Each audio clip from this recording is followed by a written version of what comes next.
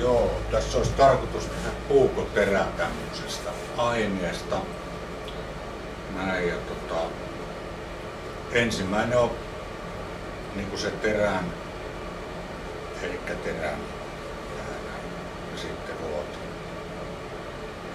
Tästä aloitetaan.